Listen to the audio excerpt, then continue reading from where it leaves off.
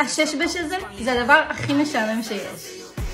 כאילו, העיצוב כל כך משעמם ובנאלי, שהייתי חייבת לעשות עם זה משהו. חכו לסוף, מבטיחה שיהיה שווה את זה. ולמה בכלל החלטתי לצייר על הששבש הזה? כי אני ושי, הבן זוג שלי, מתים על ששבש. כל טיול הוא איתנו בתיק, אז הייתי חייבת להכין לו הפתעה. בואו לאינסטגרם לראות הכל.